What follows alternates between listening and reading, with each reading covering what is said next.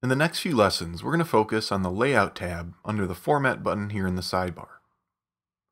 First up are columns.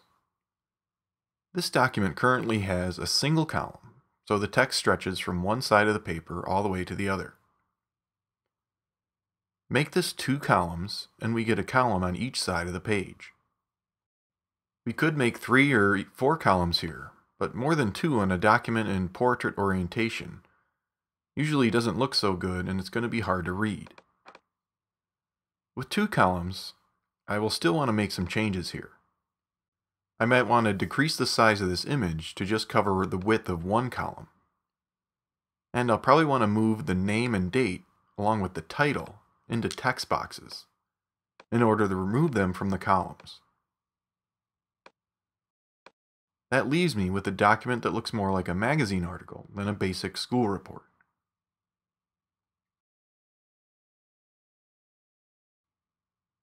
Over in the newsletter sample, let's change its orientation to landscape. With this layout, three columns of text might be a good option.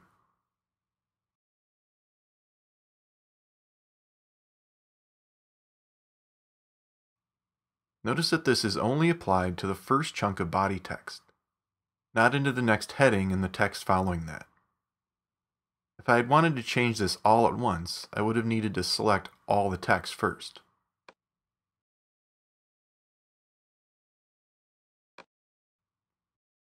Uncheck equal width for the columns, and we can set a specific width for each column.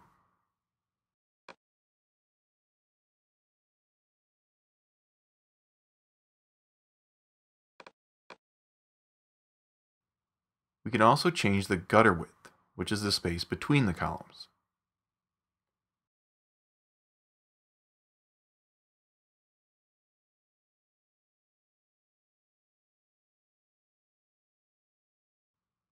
Also note that none of the text boxes were changed to multiple columns. We can do that though. Just select the text box and go to the Text tab and then Layout for the column controls.